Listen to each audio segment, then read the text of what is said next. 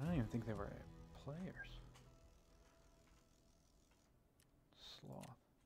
I didn't kill that fucking guy? He fucking laid down?